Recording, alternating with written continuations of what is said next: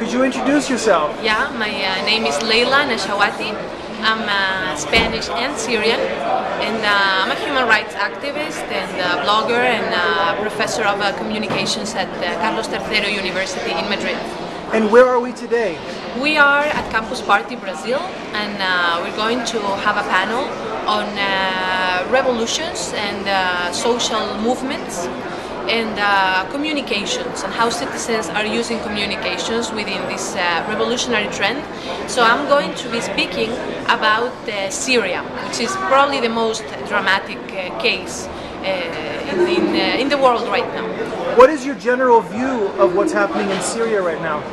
My general view is that finally we are seeing the Syrian regime as what it is.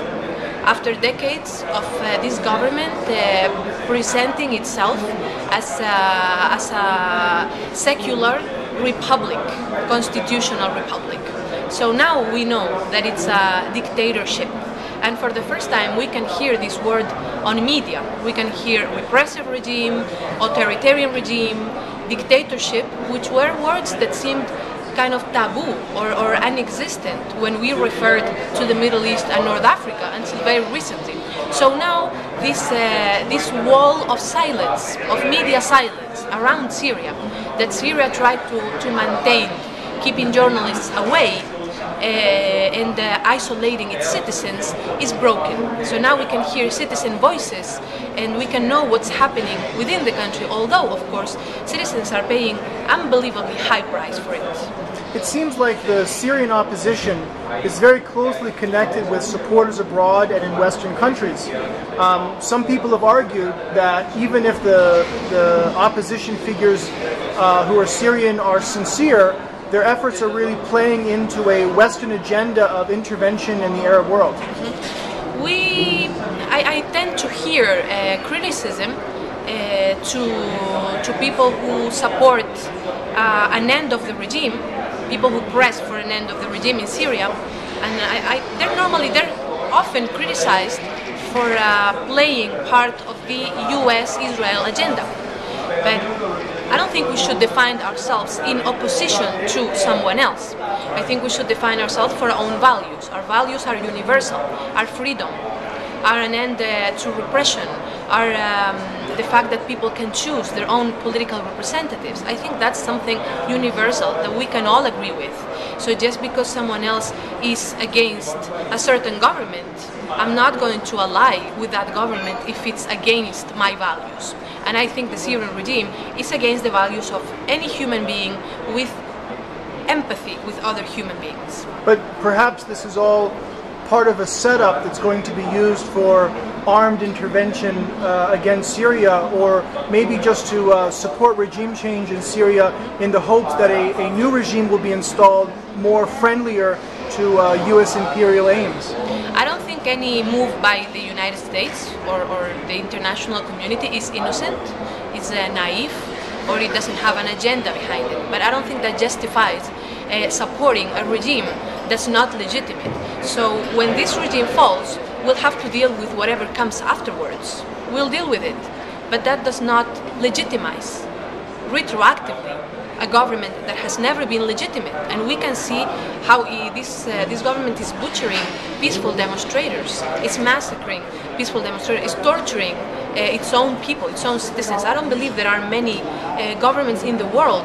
They torture others, they kill others, but their own people is not that common that we see, it's not that often that we see this level of uh, cruelty against uh, its own population. So whatever happens afterwards and whatever cards uh, international governments try to play on Syria will have to be we have will have to follow it closely and deal with it. But there's no uh, way peace and democracy can come out of this regime because it's proved that it's inherently unable to produce uh, any response that is not violent to any peaceful expression of its citizens.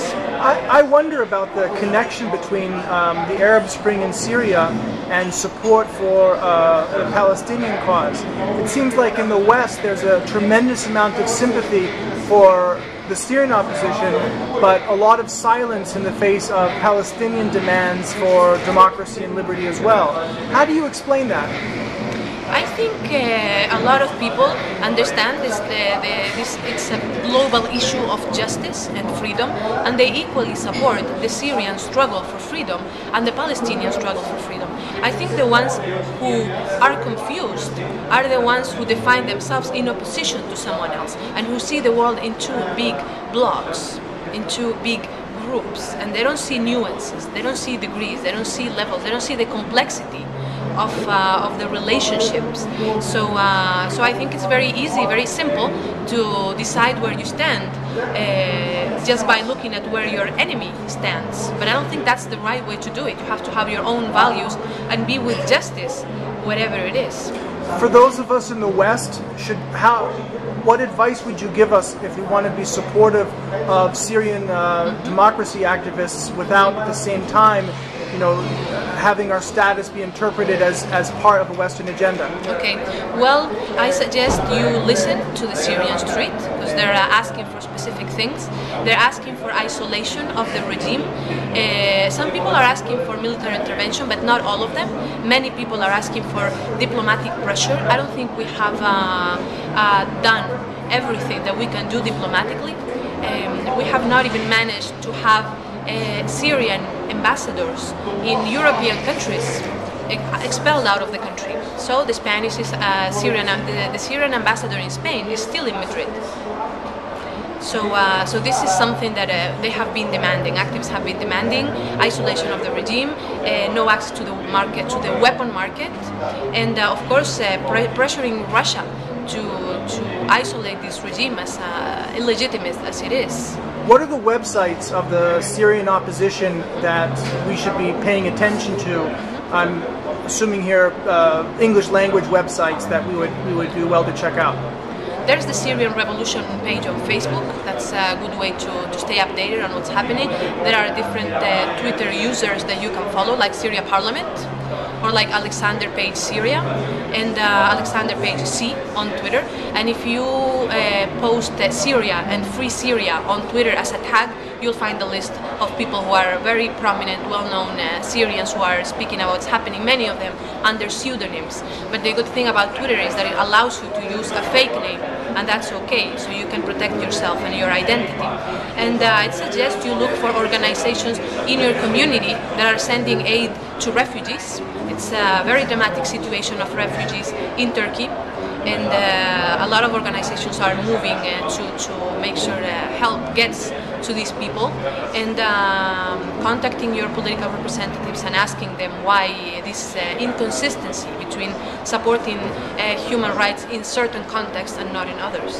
Thank you very much. You're welcome.